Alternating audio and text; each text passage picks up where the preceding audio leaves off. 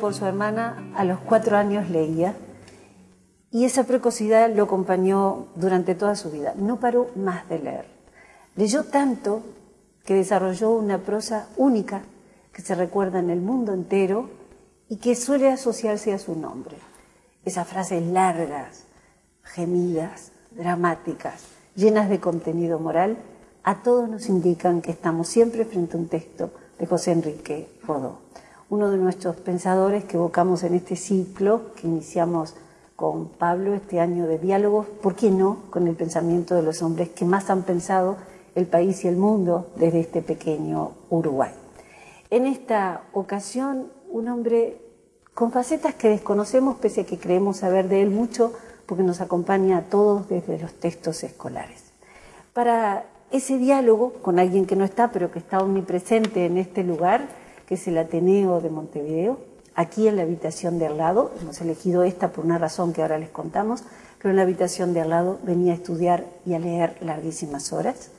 Y detrás de nosotros, exactamente detrás de nuestros invitados, ustedes podrán ver que hay un escritorio de época, de madera oscura, solemne, con un tintero pesado de mármol, en el cual escribía y pensaba a diario y durante toda su vida José Enrique Rodó. Y cuando uno dice durante toda su vida, quizás por esos mostachos impresionantes que lo acompañaron, esa figura pesada, solitaria, de, de solterón un poco evaído del mundo todo el tiempo, parecía una persona mayor. Sin embargo, murió con cuarenta y pocos años, solitario, triste y solo, como diría algún poeta, en un hotel de Palermo, lejos del Uruguay, cuando por fin había... Italia, no de Palermo. Palermo, Italia, sí, es cierto. Cuando uno podría decir, bueno, por fin logró el viaje de su vida, ¿no? Soñaba con ir a Europa. Pudo hacerlo muy tardíamente, ya era un hombre muy deprimido y muy triste, en una crisis muy grande, que se llevó su vida al poco tiempo. Sin embargo, era joven, era joven para los parámetros actuales. Para evocar a esa figura, nuestros invitados de lujo hoy son Romeo Pérez, el doctor Romeo Pérez, a quien todos hemos leído tanto y tantas veces y que asociamos indisolublemente no solo a la Universidad de la República, sino sobre todo al Instituto CLAE, un pensador y un autor de fuste, que es además el presidente de la eh, Sociedad Rodoniana, tiendo a decir, no sé por qué, otra cosa en vez de sociedad, por eso mire el papel, la Sociedad Rodoniana, él es el presidente y lo acompaña el secretario de la Sociedad Rodoniana, también muy conocido como autor y sobre todo como periodista, y como catedrático de periodismo digital, ¿no? que ha sabido escribir cuáles son los desafíos, no solamente entre el Washington Post y el New York Times, sino en la prensa en general, y que Daniel Mazzone nos acompaña en su condición de secretario, sobre todo en condición de hombre que no tiene empacho en decir sonrisa mediante, que Rodó le cambió la cabeza. Pero de eso vamos a hablar más tarde. Yo quería comenzar, y, luego Pablo tiene una infinidad de preguntas para hacerles, con, una reflexión que hacíamos cuando preparábamos este, este encuentro y este diálogo con ustedes. Probablemente casi todos los uruguayos piensen, me decía Pablo, si a alguien le preguntan quién es el autor más leído en Uruguay, la mayoría debe decir o Benedetti o Galeano. Sin embargo, el autor más leído en el Uruguay, el autor uruguayo más leído en el mundo, sigue siendo Rodó. ¿Por qué ese éxito editorial es algo que no consta en nuestra educación ni consta en nuestra conciencia contemporánea? ¿Qué ha pasado allí, Romeo? ¿Qué ha pasado allí, Daniel? Eh, cabe la pregunta y no es fácil la respuesta. Por eso la pregunta es muy significativa. Bueno, con Pablo dijimos, les hacemos una maldad para el comienzo. Está muy bien, muy bien. No, y, no es una maldad, porque pensamos juntos, ¿verdad? este, nos desafía a, todos. Tal vez sería bueno, Romeo, antes de ir al intento de respuesta, precisar la situación. Rodó es el autor uruguayo más editado fuera del Uruguay es un autor permanentemente leído y citado en toda América Latina e incluso más allá. Es un autor sobre el que se hacen tesis doctorales en muchas universidades del mundo regularmente y eso es algo que digamos, hay dos preguntas. Una es, ¿por qué esa vigencia fuera del país? Y segundo, ¿por qué se sabe tan poco en Uruguay? Efectivamente, eh, los datos que, que, tú proporcionas son eh, sumamente válidos, pertinentes. Eh, Rodó se sigue editando. conocemos, todavía, por lo menos yo no la he tenido materialmente a la vista, una edición en Austin, Texas, en el Instituto de la Universidad de Texas, especializado en estudios latinoamericanos, como editor, pero una traducción al inglés de Ariel exclusivamente, que tiene dos años, tres años, dos o tres años. Digo, a título de, ejemplo, el viernes, o sea, pasado mañana, la Sociedad Rodoniana organiza un encuentro al cual, por supuesto, este, están invitados todos los televidentes, aunque esto creo que va a salir después, al aire, eh, un encuentro en que comentaremos una tesis elaborada por un colombiano, eh, lamentablemente fallecido después de defender, unos años después de defender su tesis, en la Universidad de Bielefeld, eh, doctorado, una tesis de doctorado en Alemania, la Universidad de Bielefeld, en el año 2000. En fin, eh, simplemente datos que corroboran que, sigue siendo el autor, por lo menos internacionalmente, más uruguayo, más editado y quizás más leído. Dejo la duda, eh, porque es un, es un clásico, está reconocido, y a veces los clásicos son más editados que leídos, pero por algo se los edita. Eh, nadie edita eh, a pura pérdida, salvo, por supuesto, ciertas instituciones bueno, que, que tienen por, por cometido y que reciben fondos públicos este, para hacerlo. Pero a Rodó se lo edita y se lo vende. Eh, también lentamente, no, no, no, obviamente ya no es un bestseller, aunque fue el primer bestseller en América Latina y uno de los más impresionantes como bestseller en el mundo con Ariel, justamente en el año 1900. Pero bueno, arriesgando una, respuesta a la, a la pregunta, eh, Rodó, creo yo, tiene una sustancia que no ha perimido, eh, una sustancia que sigue entablando diálogos eh, con las generaciones hoy vivas, incluyendo las generaciones jóvenes, aunque esa sustancia está rodeada de, un cascarón que no todos rompen. Eh, es una sustancia muy sabrosa, pero la, la, fruta no se entrega, no entrega eh, su dulzor y su valor nutritivo fácilmente. Quiero decir que lo estilístico, lo formal en Rodó es, eh, está pasado de moda, está incluso en contra de algunas pautas de la modernidad y si es que estamos en ella de la posmodernidad. digo, en las últimas fases de la modernidad y de las primeras si es que estamos creo que sí, en la posmodernidad. Eh, esto no niega, en lo personal, y con esto termino, que Rodó sea un maestro dentro de las pautas estéticas y poéticas que, adoptó. Las llevó, como, como señalabas, Ana, eh, en la apertura, las llevó a, un muy alto grado de, de excelencia. Pero no son las pautas de hoy. Y no son muchos los lectores que, claro, que hacen al autor el obsequio de ponerse en, las pautas del autor, no en las, en las suyas, ¿no? Y esto pasa con muchos otros clásicos. Daniel. Sí, eh, convendría destacar que, según lo, investigó un compatriota nuestro, Gustavo San Román, eh, que está en la Universidad de San Andrews, en Escocia, eh, Rodó llegó a influenciar a un político inglés, a un político británico como Aneurin Vivan, eh, socialista, eh, que fue el creador del sistema de salud británico hasta hace poco vigente. Vivan llegó a, declarar que sus dos influencias eran Marx y Rodó. Y eso está, eso está documentado, está documentado en la, prensa británica y lo rescató Gustavo, eh, que está en su libro Rodó en Inglaterra, ¿no? un libro muy eh, ilustrativo. Eh, o sea que la, la, influencia de Rodó realmente ha llegado no solo, a, no solo a toda la región, no solo a toda Hispanoamérica, a Iberoamérica, a los Estados Unidos, también a Europa. E inclusive en lenguas que no son la, española.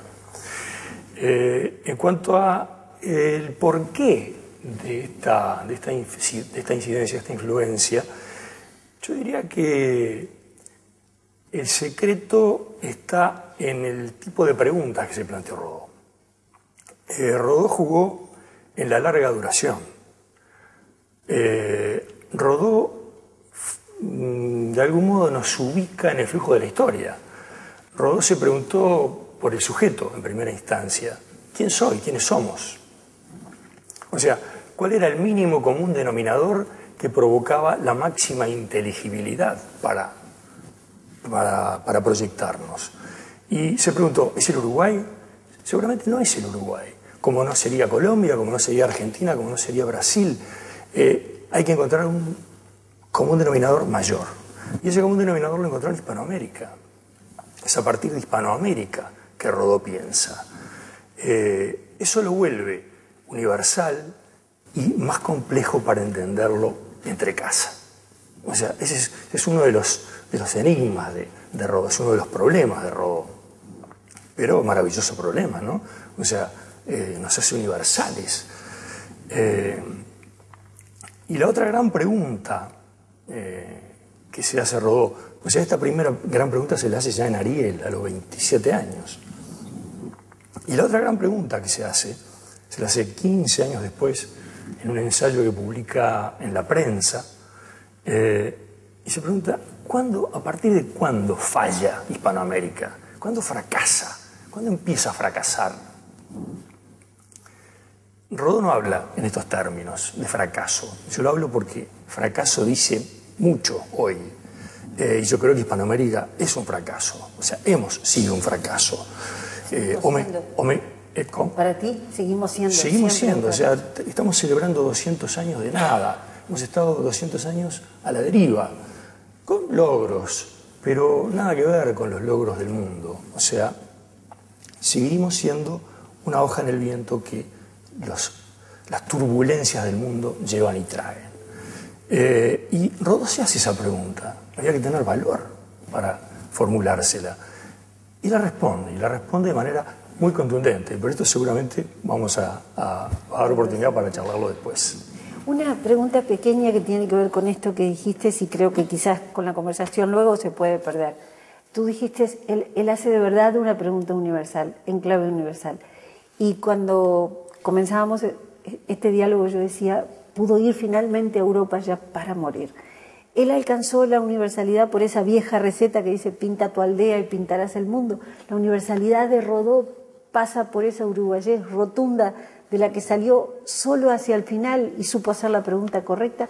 ¿Cómo crees que llega a esa universalidad? Rodó fue, fue alguien que se planteó eh, profundamente eh, el problema de eh, quiénes éramos y, cómo, cómo, podríamos proyectarnos. Eh, él estudia el mundo griego a través de Renan, descubre a través de Renan el mundo griego, la profundidad de ese mundo helénico, eh, y sobre todo lo estudia a través del éxito, o sea, a partir del éxito del mundo griego, y lo dice más de una vez. Yo hablo del mundo griego para demostrar que el triunfo de Grecia es un complejísimo proceso de selección. O sea, Grecia no es una casualidad. Grecia es una selección cuidadosa, pensada, de élites geniales que pudieron ir llevando el proyecto, lo que era una cosa mínima, a ese esplendor que después le entregó Grecia al mundo y del cual somos herederos. O sea que eh, Rodó se fijó, como se fijaron también los padres fundadores de los Estados Unidos. Cuando los padres fundadores de los Estados Unidos van a fundar Estados Unidos, miran obviamente a la madre británica, pero miran más allá, miran a Roma, miran la antigüedad, a ver qué nos dice la antigüedad, cómo podemos proyectarnos con éxito con ejemplos antiguos. Y Rodó hace más o menos lo mismo. Yo a Rodó muchas veces lo, lo parangono con los padres fundadores de los Estados Unidos. Rodó es conocido por los uruguayos básicamente a través de su inclusión en los programas de estudio. Y pasa una cosa curiosa. El, Rodó del que se nos suele hablar en la escuela o en secundaria es un señor un poco distraído, aislado del mundo, dedicado a escribir parábolas, absolutamente ajeno a lo que pasa alrededor de él. Y resulta que esa imagen es totalmente falsa.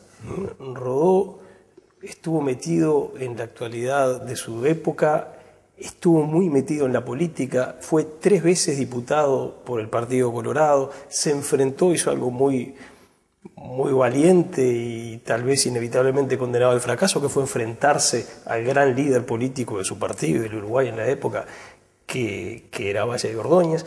Eh, fue a su manera un, hombre de acción. Y cuando uno ve a ese Rodó hoy, a mi juicio injustamente olvidado, el, el Rodó político, aparece un rasgo de él muy llamativo y que en la época creo que, que fue muy llamativo, que era su encendida defensa de la democracia, y su, fuerte compromiso con un sentido exigente de la democracia que incluía eh, el respeto del adversario, la posibilidad de la rotación de partidos en el ejercicio del gobierno, una serie de cosas que en ese momento estaban muy en discusión en Uruguay y él aparece con, con una claridad y una contundencia muy grande en, ese terreno. Sería bueno escucharlos sobre, sobre ese aspecto, el rodó político, antes de meternos en, el rodo intelectual. Sería bueno recordar que recién estaban dejando atrás a los enemigos para ver a los adversarios, y muy tímidamente, ¿no? Acababan de... Eran muy recientes las dos últimas guerras civiles y ver al adversario y, no pensar que había que matarlo era difícil. Sí, sí. Rodó era diputado en 1904 cuando estalla la, guerra civil y, ahí se produce su primer distanciamiento, sus, primeras tensiones grandes, muy grandes, con José Valle y Ordóñez. Dice que al principio había apoyado la candidatura. Él, él votó por Valle en 1903 y nuevamente en 1911. Votó las dos veces por la candidatura de Valle y Ordóñez. En aquella época, como sabemos, el presidente de la República era elegido por la Asamblea General. Y él, como diputado, votó dos veces. Pero en el 4 tuvo un primer distanciamiento en el eh, contexto de la guerra civil. Valle, eh, Valle sí tenía una postura, bueno, de enfrentamiento radical al levantamiento del, Partido Nacional. En cambio, eh, Rodó, que votaba las medidas que sostenían la guerra contra los blancos, eh, dejó claro muchas veces en, su actuación parlamentaria que eh, los blancos tenían razón en varias de sus reivindicaciones. Durante la guerra, él rechazaba el levantamiento blanco, pero admitía todo lo relativo a, las garantías del sufragio, eh, al, pluralismo, a la, construcción poliárquica, diríamos, con lenguaje este, posterior. Bueno, y, después eh, va a tener otro enfrentamiento más conocido con Valle y Ordóñez, pero que agrega tensiones a las que nunca quedaron superadas de 1904 en torno al al colegiado, pero a la fórmula de Valle y Ordóñez sobre el colegiado, ¿verdad? Que era un colegiado fuertemente eh, inclinado al, colegiado de un solo color político, de un solo partido. Eh, ahí estaba centrado el rechazo de, Rodó. Efectivamente, Rodó fue un político antes de ser diputado, con 20 años, 21 años. Eh, eh, Rodó era un militante del Partido Colorado, digo, de asistir a mitines, de formar parte de clubes. Un poquito después, un poco después, eh, se incorporó al diario eh, El Orden, que era un, diario que sostenía, después del golpe anticolectivista de Juan Lindolfo Cuestas en 1898, sostenía la política de apertura incluso al partido de oposición que siguió en, ese periodo eh, Juan Lindolfo Cuestas. Y bueno, fue un, político activo, efectivamente, es hay un Rodó, hombre de acción, de acción política, con una actuación parlamentaria eh, que está eh, documentada. Hay una muy buena edición de la actividad parlamentaria de Rodó, recopilada de los archivos parlamentarios por el doctor Silva Asensio, que se editó en 1972. Se resolvió la publicación en el año del centenario del nacimiento de Rodó, 1971. Y ahí están todas las intervenciones de Rodó, todas las que han quedado este, en versiones taquigráficas o en actas, incluyendo eh, su actuación en comisiones. Y es realmente una cantera que todavía no ha sido explotada y hay muchísimos pronunciamientos muy relevantes de, José Enrique Rodó.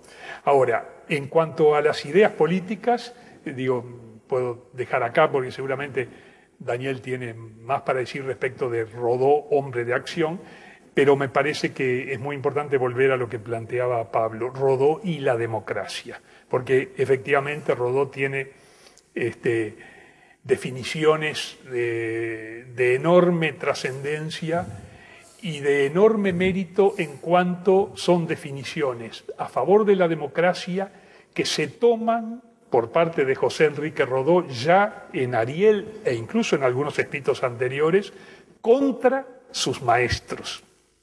Por ejemplo, Renan, que no eran demócratas. Rodó los sigue en muchos aspectos pero eh, se aparta de, ellos y en cambio eh, elige en, las páginas de Ariel, 28, 28 años, eh, cuando se publicó, 27, cuando empieza a redactarlas, elige a Tocqueville como referencia validante de la experiencia democrática de Estados Unidos. Respecto a eso, a ese rodó político y al valor de la democracia, de, eso que se recopila de su actuación parlamentaria, yo recuerdo en Facultad de Humanidades con Elena Costabile de Amorín como profesora, especialmente la discusión en torno al retiro de los crucifijos de los hospitales y la defensa del liberalismo que Rodó hace y la acusación de jacobinismo que luego se convierte en un tema de reflexión y en un libro de los básicos de él. Entonces, eh, me gustaría que, Daniel hablara de ese liberalismo político, que él además señalaba como una falsa identidad. ¿no? creemos ser liberales y sin embargo somos más jacobinos que liberales y esa instancia puntual, eso que podía entender cualquier uruguayo de a pie. Están discutiendo, retiramos o no los crucifijos. A partir de una cosa tan tangible, tan entendible, una discusión tan elevada, tan superior, que terminaba tocando la definición del hombre y de la identidad del país en discusión. Sí, lo que es genial de esa, de esa discusión es, el, resumen, ¿no? lo, que, lo que cualquiera puede comprender y recordar. Y es que Rodó decía, es, muy simple, no hay que sacar ningún símbolo que nos quite la esperanza. Eh, entonces, eh, yo con ese resumen ya, ya me parece una, genialidad. O sea, él defendía la existencia de los crucifijos en los hospitales porque era un, un símbolo de esperanza. No solo no era católico, sino ni siquiera creyente, ¿no? Ni siquiera creyente, ni siquiera creyente. Yo, hoy estaba... Sobre eso yo querría después. Por lo menos en ese, por lo menos en ese momento. Hoy estaba Aún en ese momento. Sí, eh, bueno, eso es una sorpresa. Aún en ese momento, sí, sí.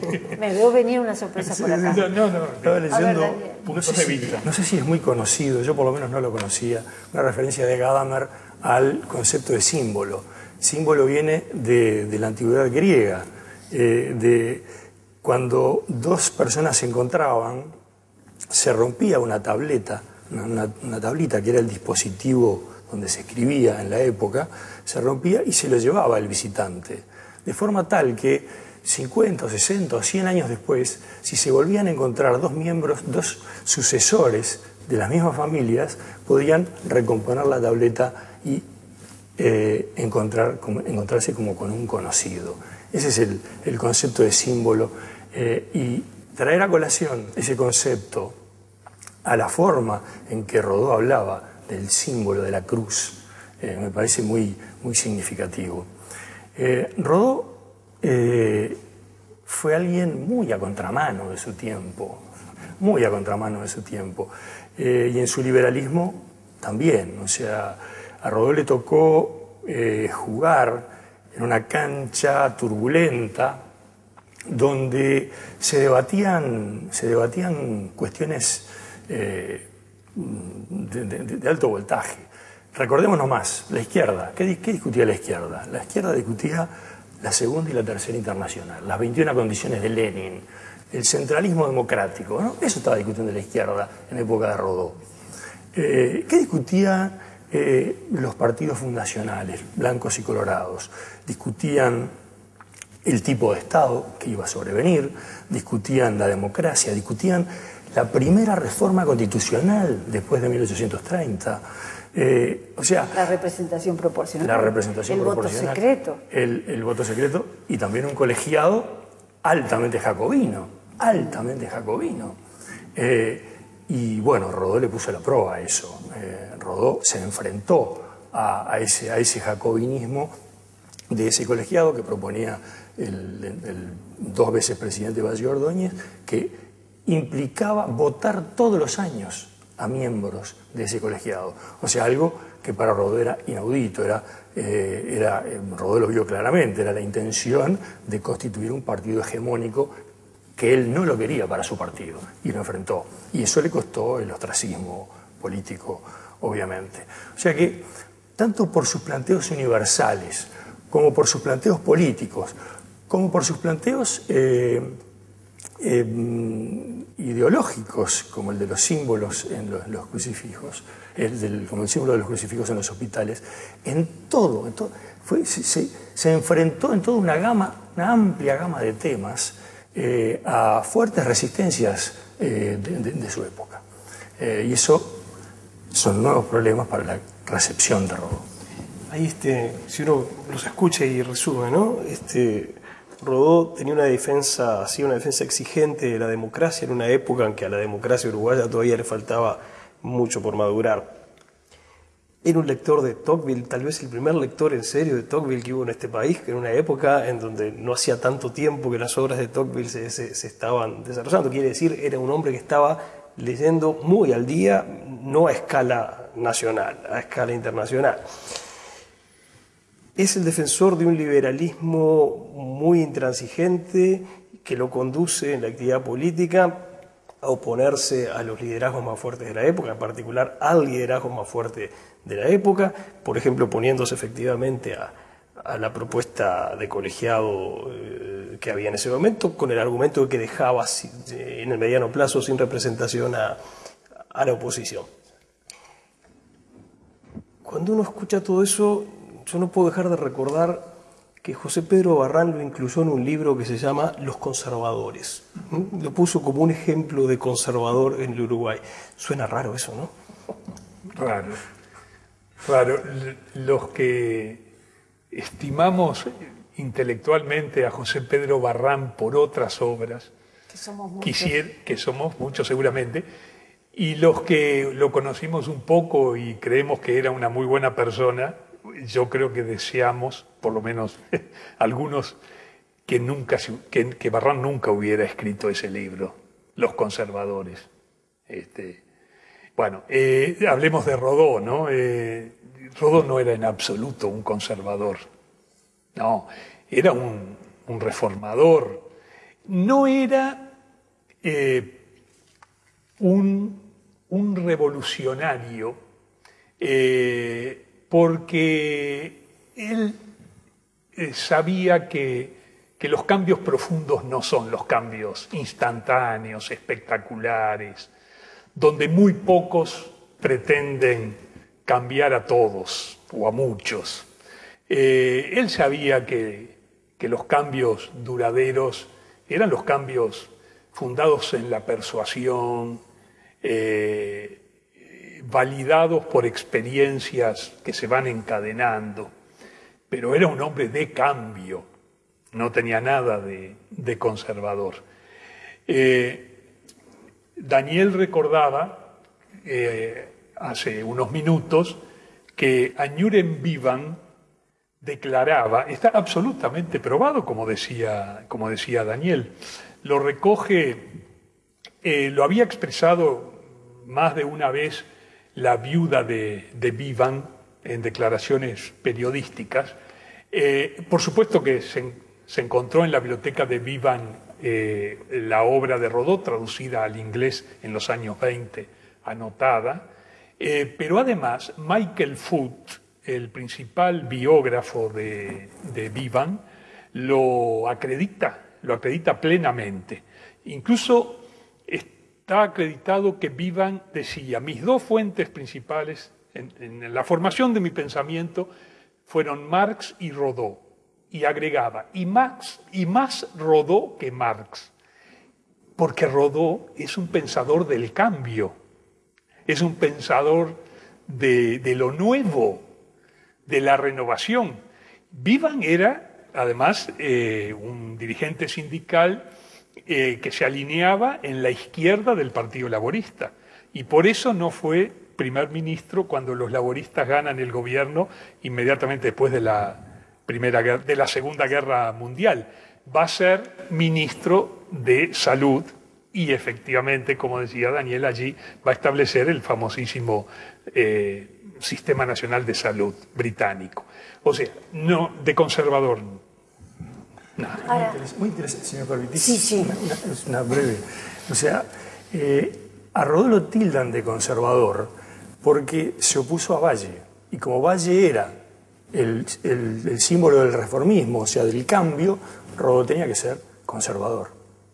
Pero esto habla eh, de, de, algunos problemas que tiene nuestra, nuestra historiografía para tomar eh, a, gente como Rodó. Rodó, como no fue ni caudillo ni doctor, se escapa de la comprensión. O sea, las categorías eh, que nuestra historiografía creó para comprender la realidad fracasan en este caso.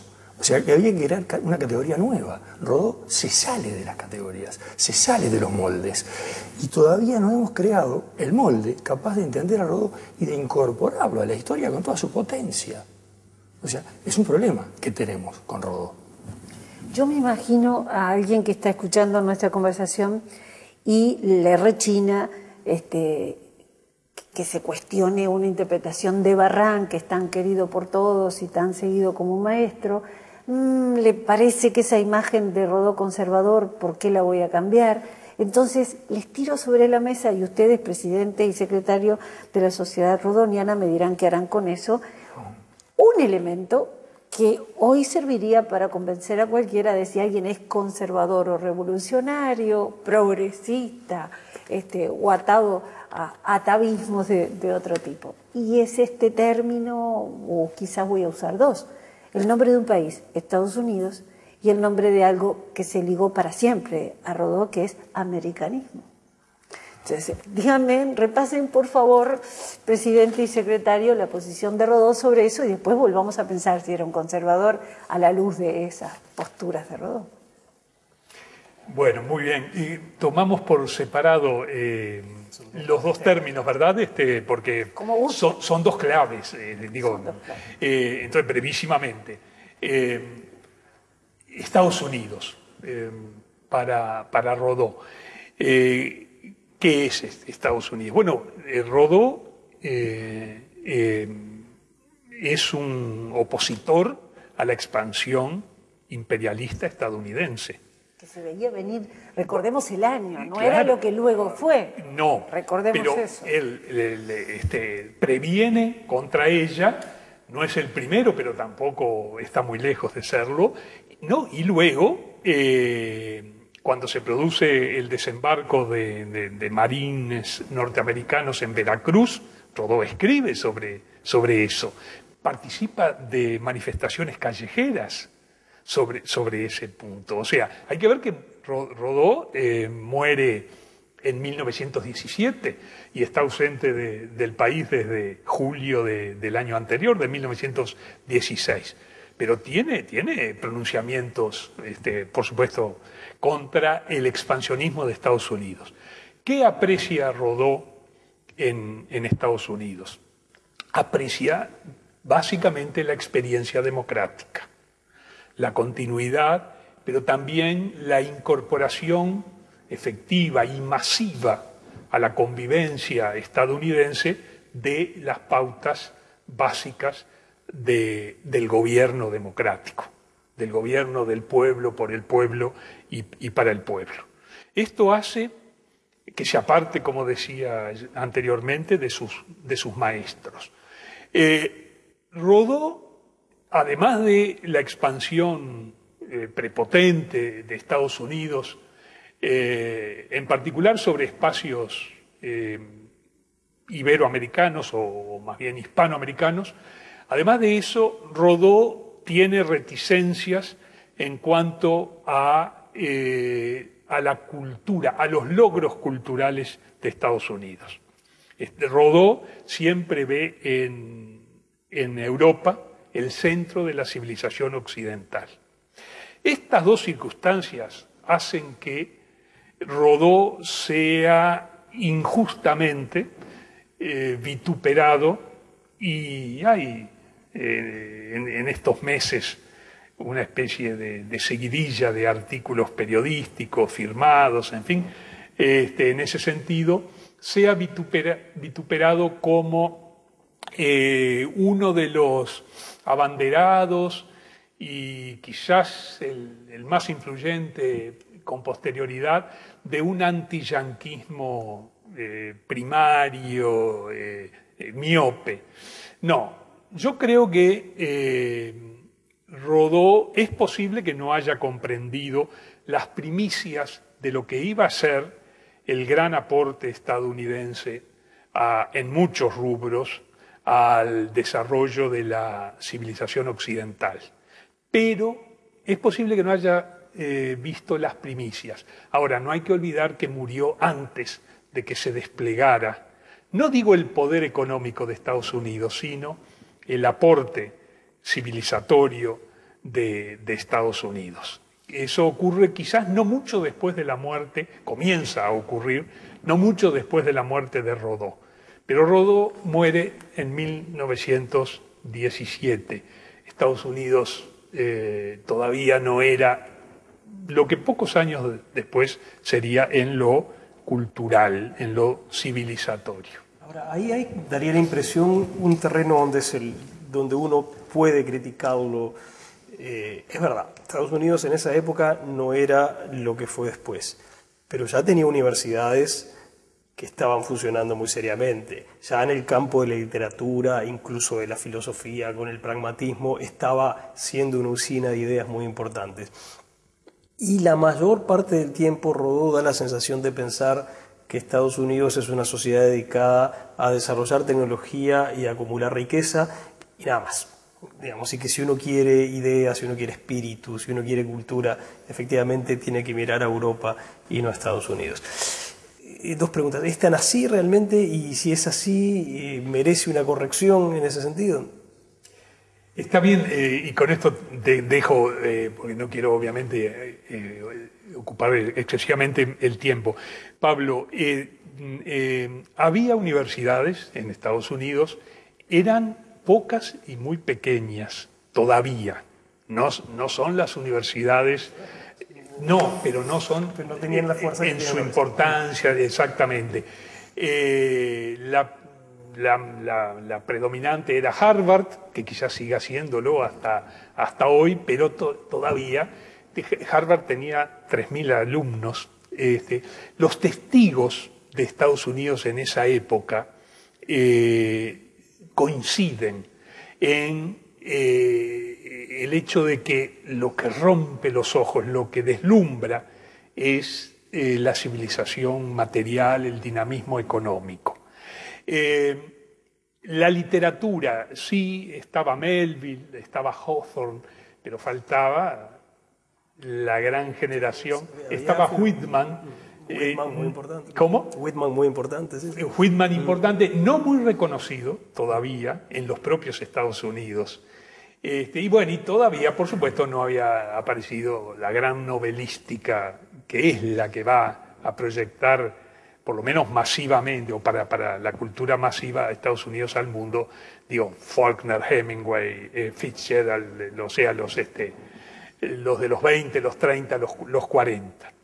Quizás le faltaron unos años de vida a Rodó para poder eh, abrirse a- también a la expansión cultural est- estadounidense.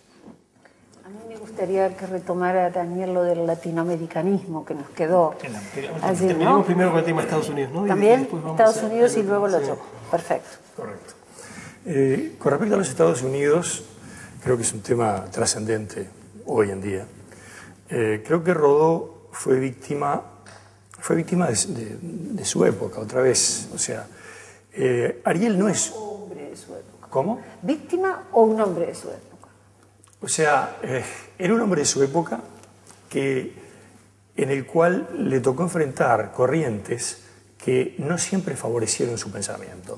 Por ejemplo, eh, en el caso de los Estados Unidos, Ariel no es un libro escrito sobre el tema de los Estados Unidos. Es más, el tema de los Estados Unidos es lateral en Ariel.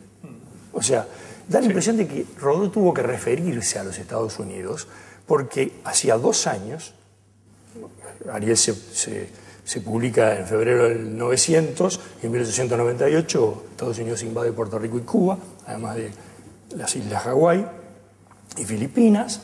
eh, y y por otra parte, le preocupaba mucho lo que llamaba la nordomanía, esa influencia enorme que tenían los Estados Unidos, o sea que eran evidentemente seductores y seducían a, no, solo, no solo en América, sino en el resto del mundo. Y por llamar la atención acerca de no imitar, se, se centró en, en el- en aquel aspecto, en aquel país que más influía en, la seducción.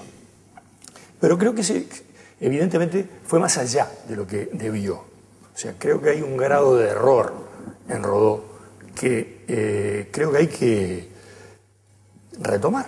O sea, yo siempre digo, Rodó dejó una obra eh, que la podría haber continuado, bueno, la, la terminó en determinado momento, pero hay que continuarla, hay que estudiarlo, hay que interpretarlo y hay que proyectarlo. Rodó nos desafía a seguir, a seguir su obra. O sea, con Rodó, con el pensamiento de Rodó, ya hoy muchos problemas no, no se pueden eh, abordar. Y el problema de los Estados Unidos es todo un tema que hay que, que, hay que abordar. Eh, en cuanto al, al tema de Hispanoamérica, eh, Estados Unidos, eh, Rodó se plantea la, la pregunta, la segunda gran pregunta, esa que yo anunciaba al principio, ¿cuándo falla Hispanoamérica? ¿A partir de cuándo? ¿Cuándo se produce la falla? Y la responde en un ensayo de 1915 que se publica el primero de enero de 1915 en la prensa. Y él dice, la falla de Hispanoamérica se produce en el momento de la fundación. Esa ruptura realizada de ese modo ha eh, culminado en, un- voy a leer la, la frase porque me parece muy ilustrativa, ha culminado en un desasosiego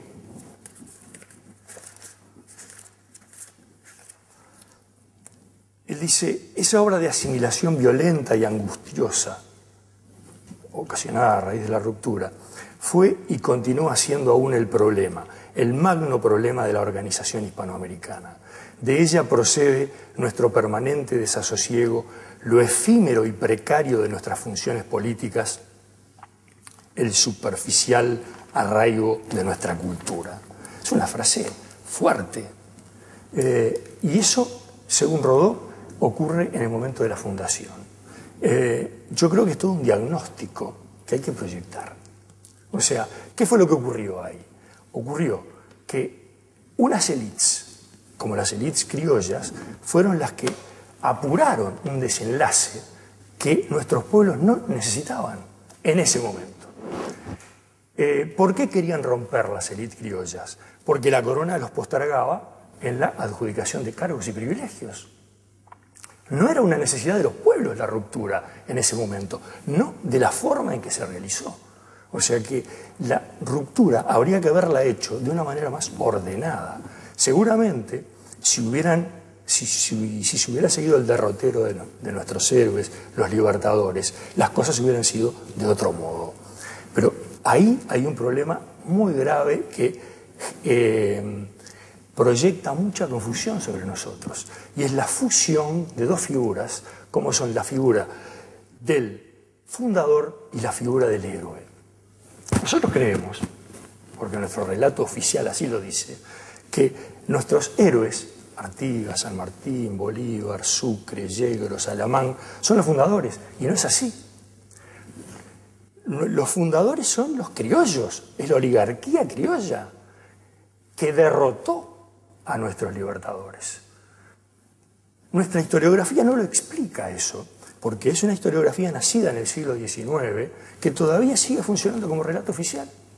En las escuelas, en los liceos, se nos sigue enseñando eso. ¿Tú estás queriendo decir que los que ganaron la independencia no son los mismos que los que construyeron posteriormente los países? ¿Eso estás queriendo decir? Exactamente.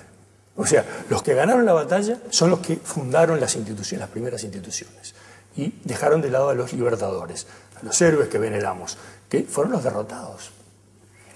O sea, nosotros, la historiografía tiene una deuda en explicar por qué los fundadores debieron derrotar a los héroes para poder fundar nuestras naciones. Es un problema muy simple, pero complejísimo, que arroja enormes, enormes eh, cantidades de niebla que nos impide, nos impide pensar. Esto nos impide pensar. Ese es el punto exacto en el cual tú decís, Rodó nos desafía. Exactamente. Para ti ese es el punto neurálgico. Y para eso escribí este libro del que vamos a hablar después.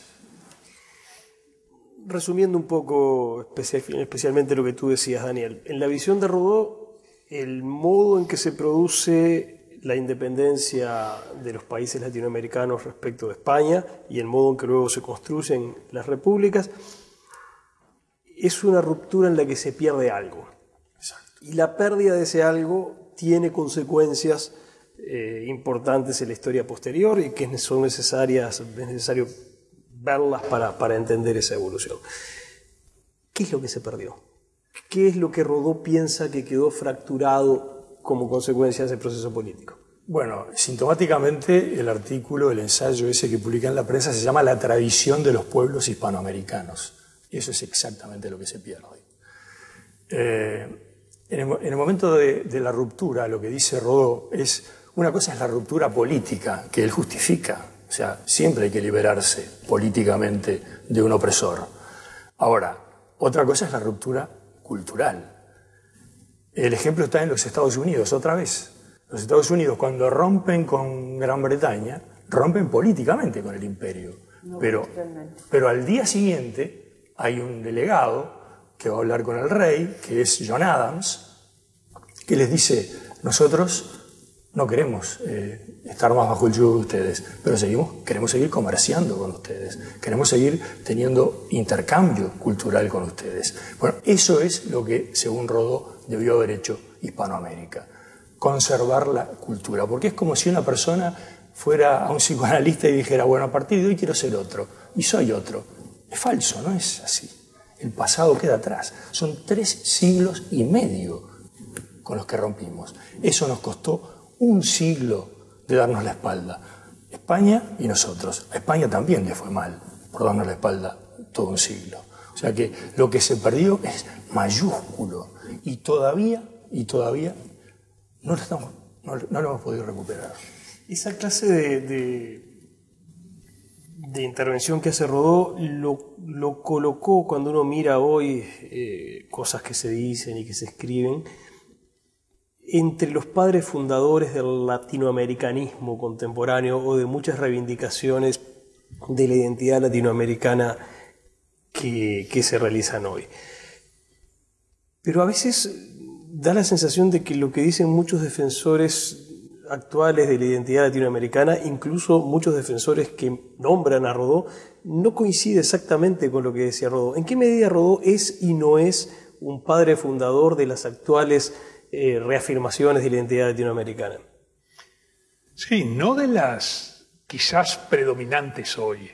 Eh, para expresarnos concretamente, hay quienes establecen una vinculación por ejemplo, entre Eduardo Galeano y Rodó. Eh, eso es este, erróneo. El latinoamericanismo de Galeano no tiene nada que ver con el americanismo, hispanoamericanismo, latinoamericanismo de, José Enrique Rodó. El de Rodó es eh, muchísimo más complejo, eh, se, despliega en el plano político, pero también en el plano cultural, civilizatorio. Y por otro lado, el de Rodó no es un anti-yanquismo, es un rechazo de la renuncia a la tradición. ¿Qué se pierde cuando dentro de los conflictos de nuestra primera hora republicana triunfa la corriente y en muchos países el partido político que entendía que la modernidad dependía de negar lo que ellos llamaban la herencia colonial, sobre la corriente que decía que la herencia colonial, la herencia hispanoamericana, era tan apta, tan idónea para, eh, para eh, fundamentar, para basar la modernización como una herencia que no era la nuestra eh, francesa o, británica. Se perdió la ilustración en español, que no solo existió, sino que fue una de las más fuertes. No la más fuerte.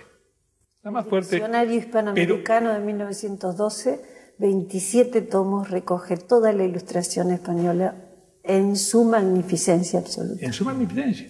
Más aún, España fue probablemente, en, español, probablemente maduró por primera vez la ilustración en el Teatro Crítico Universal de, de Feijó, mucho antes de la enciclopedia y de... Este, había raíces en otros países. Linneo en Suecia usaba el término crítica. Uno de los dos conceptos a mi juicio, que definen la ilustración, el concepto de crítica y el concepto de reforma, reforma social. Bueno, ninguna obra antes del teatro crítico universal, o sea, del examen crítico de todo lo que, lo que se sabe y se discute, este, ninguna obra tenía ese título antes del teatro crítico universal de, de Feijó, que se vendió, eh, se vendió masivamente, que entró y Ardao ha escrito sobre eso, encargamentos de centenares de volúmenes a puertos hispanoamericanos en el siglo XVIII. Bueno, eso se perdió. Entonces, buscamos la modernidad eh, para seguir un poco con Huntington, ¿no? La democracia solo se puede soñar en inglés. Bueno, buscamos la modernidad en inglés o en francés, eh, cuando en realidad, bueno, claro que hablaba la modernidad inglés y francés, pero hablaba también el italiano de Vico y el español de muchos. Pongo, por ejemplo, el de Feijó. ¿eh? De la escolástica tardía, la escuela de Salamanca. Bueno, eso ni hablar. Nos vamos al periodo anterior y ahí arranca toda la modernidad, ¿no? En las grandes reformas de pensamiento y, más allá del pensamiento, ¿no? Eh, entonces, eso se perdió. Ahora, como, como señalaba Daniel, esto no quiere decir que Rodó rechazara la independencia política. ¿Qué evolución entre el Rodó, hijo intelectual de los unitarios eh, bonaerenses eh, emigrados, y, de un oriental y argentino al mismo tiempo, que fue una gran figura del siglo XIX, Andrés Lamas, eh, hijo eh, formado en, esas ideas, en 1915 en la prensa de Buenos Aires publica este artículo. Es que fue evolucionando. Rodó evolucionaba no solo escribía sobre que renovarse es vivir, sino que vivía renovándose. ¿Qué le criticaría hoy Rodó a, los defensores contemporáneos del latinoamericanismo? Oh. Antes déjame decir una cosa de lo que era España. Eh, este libro me llevó a mí a investigar las Cortes de Cádiz, que es un tema sobre el que hay muy poco escrito en, Hispanoamérica y hay mucho escrito en España. Más ahora, el año pasado se produjo de todo, en las toneladas de papel. Bueno, yo lo publiqué un año antes esto, en, 2011. Eh, en las Cortes de Cádiz, España, ante la cefalía de la corona, convoca a las Cortes. Y a esas Cortes que tenían 300 diputados, van 60 diputados hispanoamericanos. Eh, que en total fueron 86 que circularon por esos 60 escaños. El primer artículo de esa constitución, de 1912, la famosa PEPA, 1812. De 1800, perdón, de 1812, eh, dice serán ciudadanos españoles todos los habitantes del reino. O sea que los habitantes de Hispanoamérica iban a ser ciudadanos, eran, fueron en ese momento ciudadanos españoles. O sea que la actitud de España era, era muy abierta, había mucho para rescatar todavía de España. O sea que, y todo eso fue eh, bueno, fue interrumpido. Sí. Daniel, pero el que lo interrumpió fue Fernando VII cuando volvió en el 14, no te olvides. ¿eh? Lo primero que interrumpió fue la Constitución Lo primero que interrumpió fue la Constitución de Cádiz. Estoy hablando del liberalismo español. Había un partido conservador y, y aún más reaccionario que tuvo, pero en el 20 ¿eh? se da vuelta la tortilla en España, Obviamente. en fin. Yo siempre digo, eh, Constitución de Cádiz y, Cortes de Cádiz, en donde estuvo sentado nuestro Sufriategui, montevideano, no olvidarse, ¿no? no es un anuncio, un anuncio democrático, de democracia. Sí, sí, muy fuerte. Tercera constitución escrita de, de, la historia, la, la de Cádiz, después de la de Estados Unidos y de la primera República Francesa. ¿no? Ahora, yo me, yo me, atrevería. este, sí, ay, perdón, quedaba eso. Sobre el, latinoamericanismo. Yo creo que una de las cosas que. Yo creo que Rodó utilizaría cada vez menos la palabra América Latina. Yo al menos la uso cada vez menos. O sea, cada vez más hablo de Hispanoamérica. Yo América Latina no la entiendo, no sé dónde existe América Latina. Eh, Hispanoamérica no está constituida. Hispanoamérica son un conjunto de naciones que ni siquiera se pueden poner de acuerdo para dragar un río. O sea, ni siquiera se, se pueden poner de acuerdo para hacer una zona de libre comercio. Entonces, eh, falta construcción. Ni que hablar del uso América. O sea que América Latina sería la reunión del uso América más Hispanoamérica más las, las islas del Caribe. Es, es, una construcción tan compleja que además ha sido importada. O sea, el, el, nombre América Latina es un nombre que a mí no me expresa o me expresa cada vez menos. Y yo digo, ¿por qué no somos como los norteamericanos y nos llamamos americanos a secas, sin complejos? A mí me gusta decir que soy americano. ¿Por qué no? ¿Por qué no? Y yo creo que estoy diciendo mucho sobre mi identidad si digo que soy americano a secas. Y creo que esa sería la, perspectiva en la que me gustaría inscribirme. Ahora, e, estábamos viendo e, e, esa posibilidad de traducir algunas cosas de Rodó al presente. Y la pregunta puntual de Pablo era la diferencia, que un poco había este, derivado de tu afirmación, Romeo, dónde está la, estriba la diferencia entre el latinoamericanismo de Rodó y el de Eduardo Galeano. ¿no? Y yo te decía muy atrevidamente, yo creo que en la ausencia de la teoría de la conjura, aquello que Real de Azúa llamó la teoría de la conjura. No todos los males empiezan por Colón, todos los malos de Colón para abajo, hasta el último dictador están todos relacionados entre sí, los buenos y las víctimas están todos del otro lado. Acá no, lo de Rodó es otra cosa. Es, bueno, en el momento de la ruptura, el error es de múltiples partes a la vez y los que asumen el destino de la independencia se equivocan en un procedimiento. Este, ahí hay culpas compartidas e incluso la figura de la culpa es diluida por una causalidad bastante más compleja. Ahora, en ese volver a aterrizar a Rodó en el presente, yo le contaba esto a Pablo ayer cuando nos reuníamos pensando en el programa de hoy no podía menos que evocar algo que mis profesores y maestros insistieron en contarme y en hacerme leer y repetir, que era aquella parábola impresionante de la pampa de granito. Entonces pensaba, nos quejamos, bueno, Rodó no es lo suficientemente conocido, desconocemos que es un bestseller. Si hoy le leemos a un niño en edad escolar La Pampa de Granito, en donde ese viejo enjuto terrible obliga a tres niños desvalidos en medio de la pampa donde no hay nada ni crece nada, a uno a con los dientes hacer un pozo, al otro a abrir la boca para juntar tierra y poder enterrar en medio del granito duro la semilla, y al otro le tuerce el brazo para llorar sobre la semilla y que ésta fructifique de esa manera polar. Y luego se explica que esa es la vida, ¿verdad? Y que es el destino y que las cosas solo surgen luego de un esfuerzo terrible. Y yo pensaba, modernidad pura, sentido del esfuerzo. Y tú decías al comienzo del programa, no sé, pero quizás estemos en la posmodernidad, que tiene como lema esa cosa tan de, de, alguna marca de gaseosa, ¿no? Hacer la tuya. Quiero las cosas ya, ahora, sentido del esfuerzo ninguno. ¿Qué hacemos para que se lea y se conozca este Rodó que ustedes sin duda demuestran que están encantados, son admiradores y, lectores que aprenden y son desafiados por Rodó todavía? ¿Qué hacemos con alguna de esas figuras? ¿Corre hoy? ¿Es posible hoy sin que venga una queja de violencia doméstica? ¿Apología a la violencia doméstica contra los niños si les leemos La Pampa de Granito? Sí, evidentemente eh, no habría que comenzar la lectura de Rodó por la pampa de granito. Eh, o sea que a mí me provocaron un trauma infantil. Eh, claro. Todos los, los sistemas eh, de convicciones intelectuales o todos los, los, los programas de, de, una creencia, de una fe, tienen sus partes duras eh, y, otras partes más accesibles. Bueno, no hay que comenzar por las partes duras, ¿verdad? Eh, si uno quiere que el neófito culmine ¿eh? en el acceso a, ese sistema o a esa fe o a ese conjunto de, creencias, a esa cosmovisión.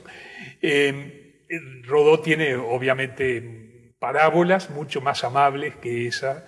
Y la, del niño que tañe la, copa, ¿no? Primero vacía y este, Ahora, sin embargo, eh, esto no es rechazar la validez de la pampa de granito, pero justamente como, eh, como culminación eh, que debe tomarse este, en, sus justos términos, ¿verdad?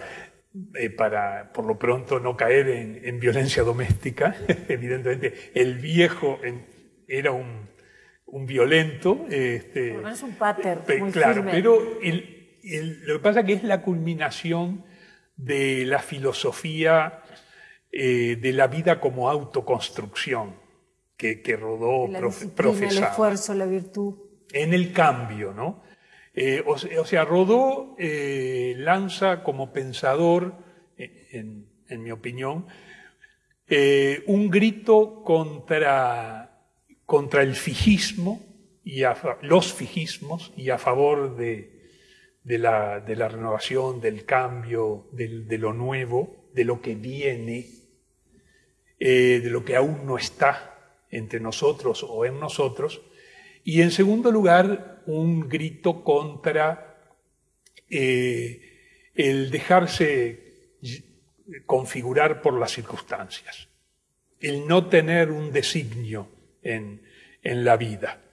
Rodó, crítico literario antes de Ariel, eh, escribe con una contundencia muy, muy significativa contra el decadentismo.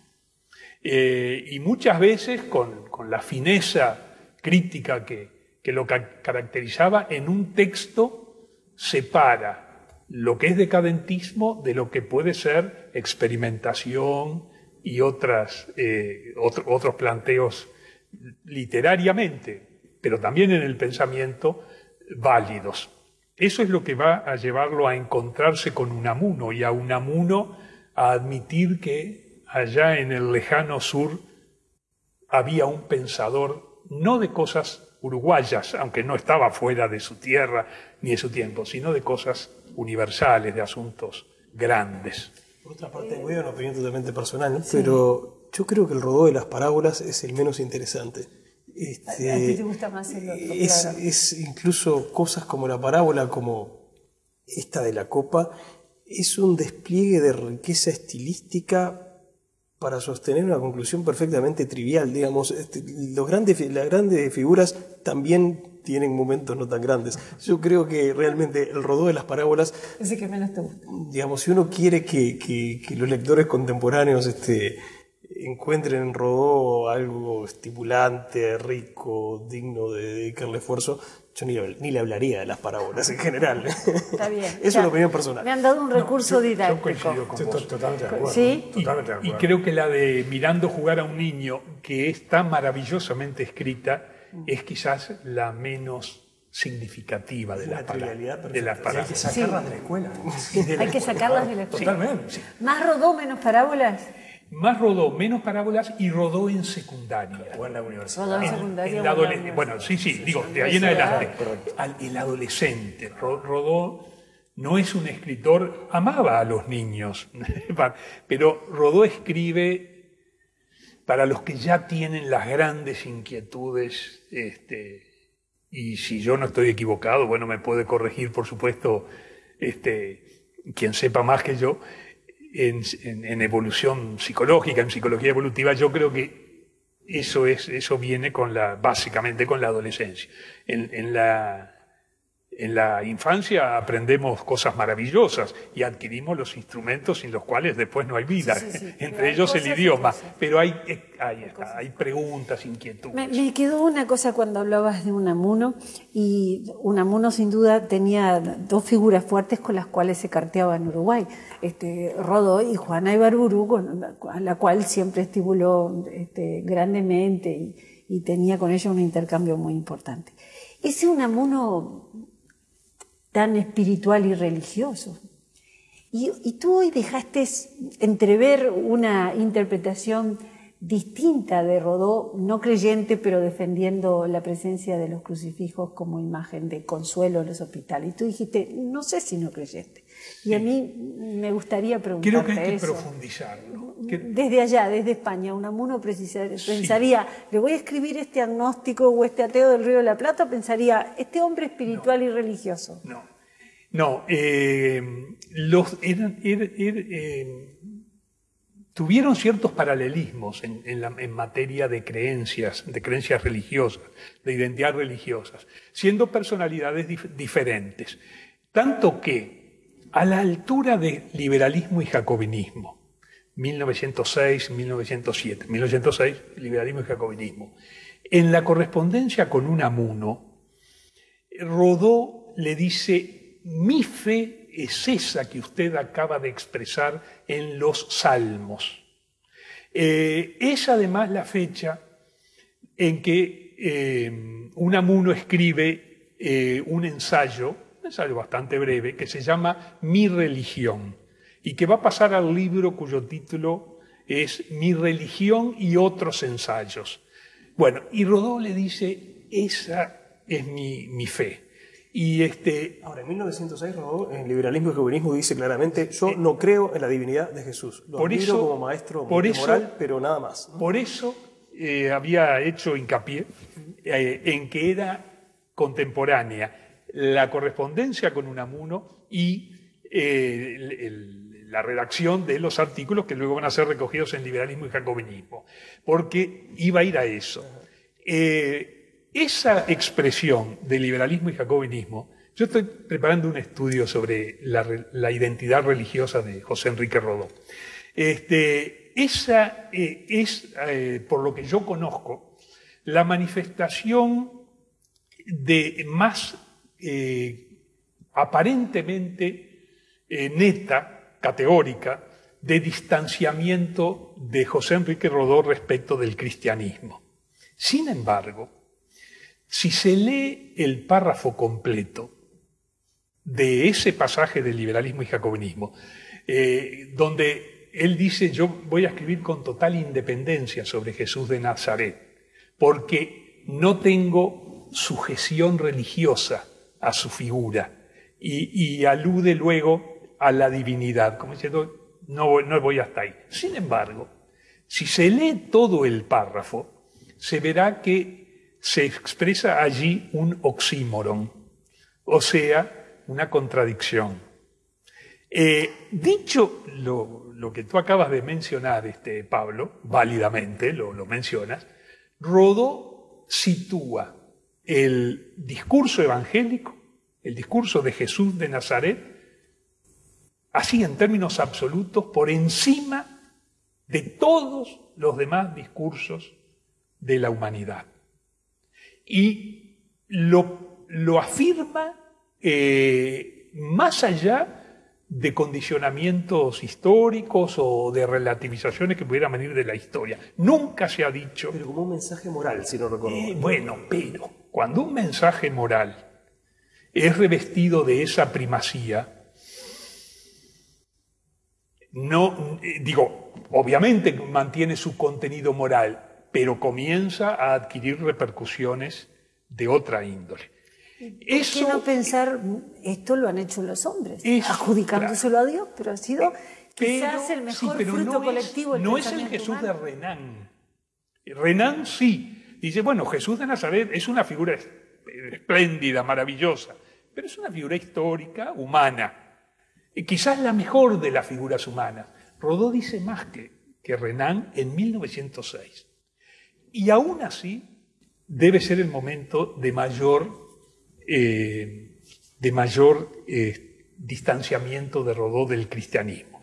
Rodó es educado en el cristianismo, su madre era una, católica y fue toda la vida una católica muy eh, ferviente, se va distanciando en su juventud. confesional, ¿no? ¿Cuál? Fue a un colegio no confesional, fue a Lelio sí, Fernández. Sí, sí, porque cuando él fue, vivía el padre, el padre probablemente no creo que fuera agnóstico, pero eh, quería otra educación.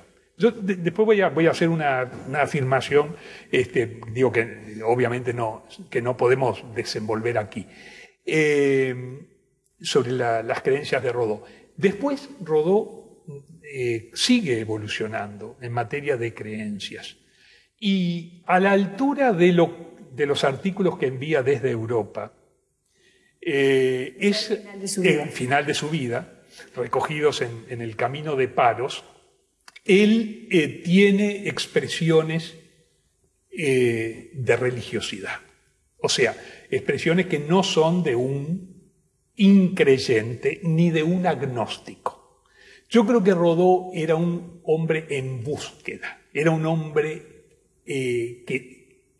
cuya definición religiosa estaba procesándose. Especialmente recomiendo en el Camino de Paros la lectura del, eh, del artículo sobre Florencia que se llama Diálogo entre el bronce y el mármol. O sea, diálogo entre el bronce de, del Mercurio de Benvenuto Cellini y el mármol del Moisés de Miguel Ángel. Eh, que es un artículo sobre, que termina, tiene, es sobre arte, pero sobre todo sobre religión. Y en ese, eso es un diálogo, porque hace dialogar a los personajes y, este, y en un momento el, eh, eh, él lo que preconiza es una síntesis del paganismo y el cristianismo. Pero, entonces el, pagano dice, pero entonces eh, tú me hablas de fe religiosa. Porque no, no, no te hablo de fe. Perdón, tú me, me hablas de fe artística. No, no, no te hablo de fe artística. Eh, te hablo de creencia. El camino en el camino de paros, o sea, en los artículos que mandaba a caras y caretas. Termino, termino esto que es nada más que un esbozo. Yo creo que Rodó era un católico modernista. Este, modernista en el sentido teológico del término. Eh, por lo tanto, era un católico fuera de la iglesia, y que sabía que estaba fuera de la iglesia, eh, porque el modernismo fue condenado este, por, por, la iglesia.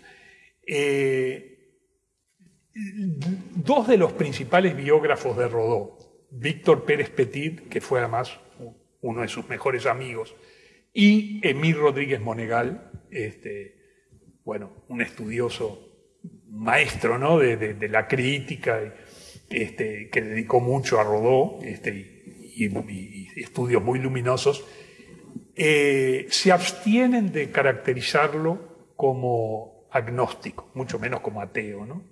Este, se abstienen, usan expresiones ambiguas.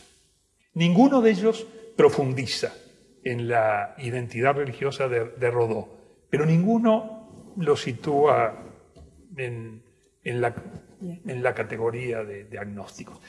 Tema a estudiar. Un, artículo de Romeo Pérez a, publicarse. si esto fuera uno de estos programas de televisión, tendríamos que poner un letrero luminoso que dijera primicia. Vamos a aclarar que esto no estaba preparado. No, no, no estaba preparado. Daniel, ya que estábamos con el cristianismo, de Cristo a Mars fue algún título importante en nuestra historiografía también, ¿no? Eh, tú tienes una evolución ideológica personal en la que alguna vez te, he escuchado, el camino tuyo va de Mars hasta Rodó prácticamente. Y vaya camino, yo quiero que me expliques, hubo atajos, ¿qué pasó allí? es una evolución importante. Es, muy interesante. Eh, digamos que yo me topé con, con Rodó en la década del 60, cuando era un joven que con raíces, venía de una casa en la que tenía antecedentes en el Partido Nacional y era un joven que no me satisfacía la, política eh, como yo la estaba viendo en ese momento y estaba en búsqueda. En ese momento leo un libro que se llama El Uruguay y su gente, que me disuadió de leer a Rodó y me postergó su lectura 30 años. Eh, yo recuerdo en términos muy de, mucho reproche ese libro. Eh, me reencuentro con Rodó 30 años después, o sea, intenté varias veces llegar a Rodó a través de La Tempestad, o sea, eh, intenté varias aproximaciones. Hasta que eh, me, hace unos 15 años más o menos, empecé su lectura sistemática. Em, bueno, esto desemboca en un primer eh, libro eh, dedicado a Rodó, que es Desenfocados, en, 2005. O sea, primero es el, número, el último número del estante que coeditábamos con, con Pablo. Cuando éramos jóvenes. Cuando éramos jóvenes, dedicado monográficamente a Rodó. O sea, fue, fue un, último homenaje, porque el, estante cerró en ese número además. A partir de ese momento empiezo a escribir eh, una serie de, artículos que se publicaron en el país que culminan en Desenfocados, eh, que, que, comienza con un ensayo que se titula em, Valle eh, Rodó los equívocos de la historia. Ah, dos hombres, dos hombres en el callejón. Valle Rodó los equívocos de la historia, cuya tesis de fondo es eran dos hombres que no tenían por qué haberse enfrentado. El Uruguay los precisaba a los dos y, los dos se neutralizaron. Es un Uruguay que, como decía Rodó, todo pasa por la política. Acá salís de la política, salís del país. Bueno, eso es terrible y creo que de algún modo sigue siendo así. Eso es lo terrible, lo más terrible aún. Después de, ese libro eh, em, y de ese ensayo, escribí el prólogo de Ariel, fue un momento, una oportunidad maravillosa de, entrar a fondo en, ese libro y de descubrir que es un libro, como lo titulé, es un libro incómodo, todavía interpelante y un programa para la acción, es un punto de partida para la acción. Todo lo contrario de las lecturas que ha tenido históricamente el Ariel, que ser un libro quieto, un libro eh, medio bobón. No, no, no, es un libro cargado de sentido, cargado de sentido. Eh, eh, hay un filósofo cubano, eh, Rafael Rojas, filósofo cubano que está en Princeton, este, que dice una cosa muy interesante y, es, y coincide conmigo ahí, es que muchas veces por la lectura sesgada de Ariel, como libro antinorteamericano, se ha perdido de vista que el eje no es, eh, no es Ariel, ni, la oposición Ariel Calibán, es Próspero, es el maestro hablando de a sus alumnos, o sea, un discurso cargado de moral, un discurso cargado de perspectiva, un discurso cargado de esperanza, un discurso cargado de, de lecciones de vida. Ustedes no imiten, sean ustedes mismos. O sea, eso, eso atraviesa toda la obra de, toda la obra de Rodó. Eh, o sea, para mí es... Y otra cosa interesante que dice Rafael Rojas, yo recomiendo la lectura de Rafael Rojas, es que eh, el filósofo más citado en Ariel es Guyot, Jean-Marie Guyot. Lo cita cinco veces. En la quinta cita, Rodó pide disculpas. Dice, discúlpenme que cite una vez más a nuestro querido Guyot. Y Guyot fue el menos antinorteamericano de los filósofos franceses de la época. O sea que eh, hay una, característica interesante, una, beta interesante para seguir a partir de esa recomendación de Rafael Rojas. Eh, eh, y finalmente, o sea, esto fue en 2008, el, prólogo Ariel, y finalmente el último libro que he escrito basado en Rodó es Hispanoamérica, interpelación a los fundadores, que es a partir de descubrir ese artículo de la prensa, ese diagnóstico que dice América o Hispanoamérica empezó a fallar ya en la fundación. Dije, bueno, ahora, ¿qué pasó en la fundación? Vamos a interpelar a los fundadores. ¿Quiénes son los fundadores? Lo primero que pregunté, ¿quiénes son los fundadores? ¿Es Artigas, es San Martín, es Bolívar? Y enseguida me dijeron, no, nosotros no somos. o sea, era, era una, respuesta muy, muy clara. Eh, entonces vamos a ver quiénes son. Y eh, entonces ahí empiezo a ver, eh, me topo con las Cortes de Cádiz y me topo con una riqueza que viene del liberalismo español, que hace su ingreso a la, historia en, esas Cortes de Cádiz, que evidentemente a las cuales nosotros quedamos de espaldas, a nosotros quedamos desconectados y no hemos podido todavía elaborar eso. Bueno, todo esto que quedó por el camino está puesto en este libro, que de algún modo es un llamado de atención, es una, especie de agitar la campanita. Miremos ahí, miremos ahí. Eh, o sea, eh, yo creo que nosotros, no solo el Uruguay, Hispanoamérica es ininteligible por fuera de Rodó. Es una afirmación como para cerrar el programa. Pero antes de cerrar el programa, aprovechemos que tenemos acá las principales autoridades de la sociedad rodoniana, y que nos cuenten en tres minutos qué es la sociedad, desde cuándo existe, a qué se dedica, dónde se la puede ubicar. De modo que si, si alguien se quiere sumar, ¿dónde si alguien que, que, vio este programa hasta aquí y está interesado en ver qué hacen hoy los seguidores de Rodó, bueno, acá tenemos a dos ejemplares. Bueno, efectivamente, la sociedad eh, no tiene otro propósito que cultivar el legado de Rodó, que ayudar a quienes quieran eh, tomar contacto a cualquier grado, en cualquier grado con ese legado, eh, incluyendo, por supuesto, investigadores. Eh, el propósito es también relevar los que trabajan sobre Rodó, los que han publicado en el país y fuera del país sobre, sobre Rodó, eh, porque es un flujo permanente el de, las, publicaciones. No hay una bibliografía rodoniana, eh, digo, sobre lo que escribió Rodó, sí, hay y, muy buenas, y será poco, siempre se puede agregar algo, pero encontrar algo totalmente desconocido hasta ahora, escrito por Rodó, pero eh, es muy poco probable, y, y será marginal. Pero sobre Rodó, escrito sobre Rodó, son una enorme cantidad, este, y evidentemente no hay nada que se acerque a, una bibliografía más o menos eh, integral. La sociedad entonces quiere promover encuentros rodonianos, reflexiones rodonianas, y está abierta a cualquiera que tenga verdadero interés en Rodó. Nosotros, ¿Desde cuándo? Desde 2009. 2009 o sea, ¿Y funcionan como? ¿Una vez a la semana, una vez al mes? Bueno, hay, sí, hay una comisión directiva que, elegida por la Asamblea de Socios. La, sí, el ritmo de reuniones es más o menos de una por semana, de la comisión directiva.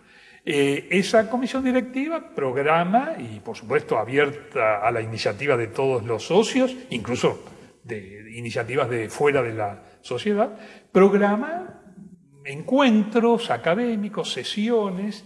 Eh, la próxima, bueno, sería el viernes de esta semana, eh, seguramente esto se va a emitir después. y tiene que ver, como les decía, con una tesis de un colombiano, Echandía, una tesis de doctorado en Bielefeld sobre José Enrique Rodó.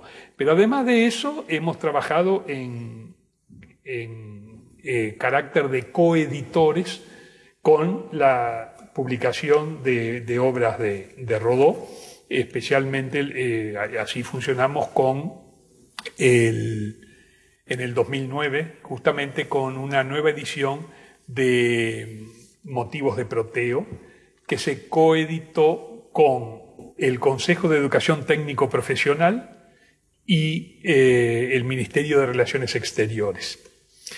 Eh, eh, con un prólogo estupendo, ese fue el aporte de la sociedad, redactado por una persona que tú, Ana, nombraste este, más hace, hace, unos minutos, la profesora Elena Costabile, que nos honra eh, con, pertenecer, es una de las, uno de los fundadores de la, de la sociedad. Fue quien me enseñó Rodó como si fuera la primera vez, porque le dio una profundidad que no tenía en la Facultad de Humanidades y Ciencias, en la vieja facultad, en Pérez Castellano, cuando la, Facultad de Humanidades funcionaba en la ciudad vieja. Bueno, si alguien quiere entrar en contacto con la sociedad, ¿cómo hace?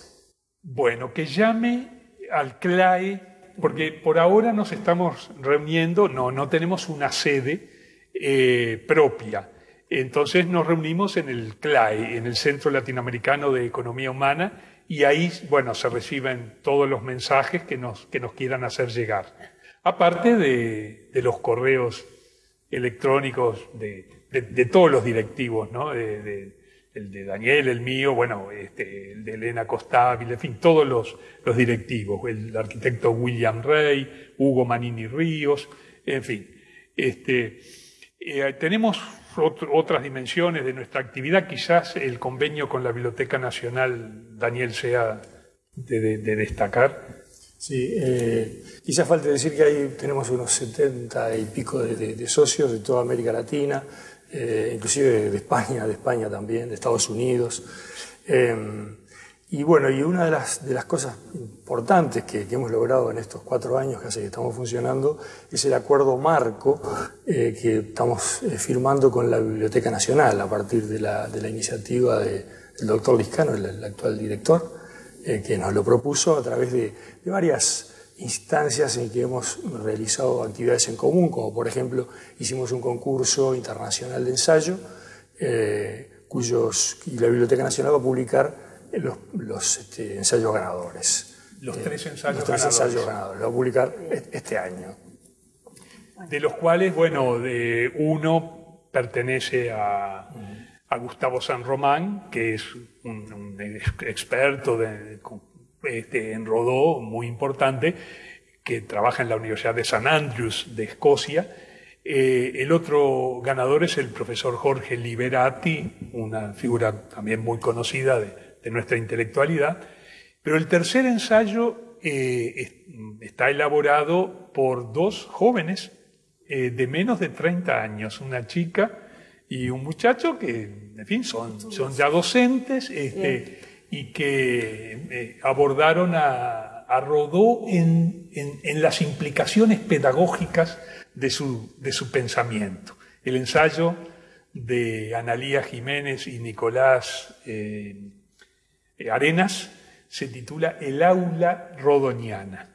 Y es un ensayo estupendo. Digo, lo destaco, los otros dos son muy buenos, pero lo destaco porque sus autores eh, tienen menos de 30 años son uruguayos. Si a esos autores jóvenes le pidieran una divisa, porque les falta este, local, pero probablemente pronto ya lo tengan, esto va creciendo, y te precisarán un escudo de armas. Probablemente los jóvenes dirían, Rodó vive. A, mí me gusta de cualquier manera la divisa de él, ¿no? Aquello de Hispanoamérica es incomprensible al margen de Rodó. Es largo, pero, es un lindo, un lindo rótulo para esto. Eh, Romeo Pérez, Daniel Mazzone, muchísimas gracias. Eh, hemos aprendido y disfrutado mucho juntos y esperemos que quienes nos acompañaron en este diálogo piensen lo mismo. A todos muchas gracias. Muchas gracias a usted. Muchas gracias.